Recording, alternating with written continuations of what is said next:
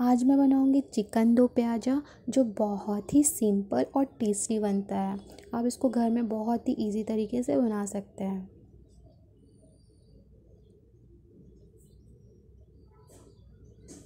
जिसके लिए मैं ली हूँ मिर्च, लहसुन थोड़ा ज़्यादा और अदरक।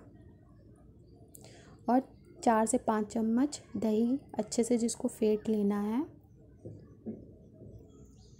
और धनिया पाउडर, जीरा पाउडर, मिर्च पाउडर, हल्दी और नमक आप अपने हिसाब से लीजिए।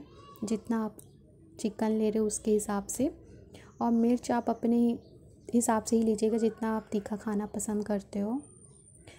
अब पेस्ट को चिकन में ऐड कर देंगे। सारे सूखे मसाले को भी डाल देंगे।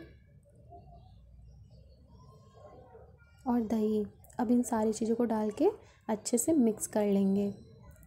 ये देखिए मैं मिक्स कर ली। अब इसको थर्टी मिनट्स के लिए मैं रख दूँगी। अब एक कढ़ाई में तेल ली हूँ, तीन चम्मच में तेल ली हूँ। कोई भी तेल ले लीजिए आप। अब इसमें तेल गर्म होने के बाद तेज़पत्ता, लौंग गोल मिर्च और इलायची डाल दूँगी। और दो बड़े साइज़ का प्याज को इस तरीके से चॉप करके डाल दूँगी। अब प्याज को अच्छे तरीके से फ्राई कर लेना। ज़्यादा ब्राउन फ्राई नहीं करना है, हल्का ही फ्राई करना है।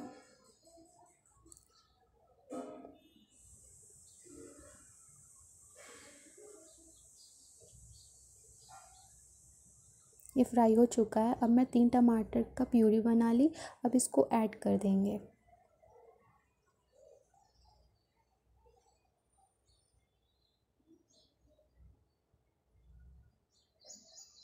थोड़ा सा नमक डाल के मैं पका लूँगी। और इसको अच्छे तरीके से पकाना जिससे टमाटर का कच्चापन चले जाए।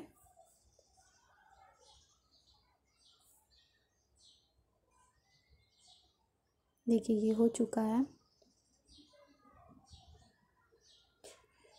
अब इसमें चिकन ऐड कर देंगे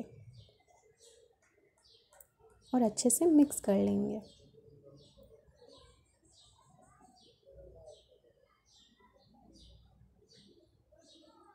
मिक्स कर लिया और इसको आप थोड़ा ढक कर पका लीजिएगा।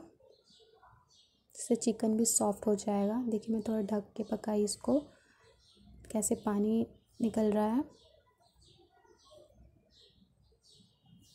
इसको तब तक पकाना जब तक इसमें से अच्छे से ऑयल सेपरेट ना होने लगे और ये ड्राई ड्राई ना हो जाए।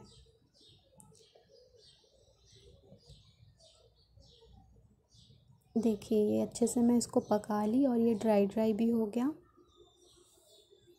अब इसमें ग्रेवी के लिए पानी ऐड कर दूँगी। ये मैं इतना पानी ऐड की हूँ। अब इसको थोड़ा लो फ्लेम करके पका लूँगी, जिससे चिकन भी अच्छे तरीके से सॉफ्ट हो जाए। देखिए, मैं इसको पका ली। अब इसमें गरम मसाला डाल दूँगी। ये लास्ट टाइम पे करना है, जब आपको लगे आपका चिकन अच्छे से पक चुका है। और चार हरी मिर्च, इसको बिना कट किए डालेंगे, इससे फ्लेवर अच्छा आता है। और प्याज को इस तरीके से कट करके डालना है। ये सारी चीज़ों को डाल के ज़्यादा नहीं, बस दो मिनट ही पकाना है। ठीक है, दो मिनट में पका ली। और ग्रेवी इतना ही रखना है। अब फ्लेम ऑफ़ कर देंगे। ये रेडी है।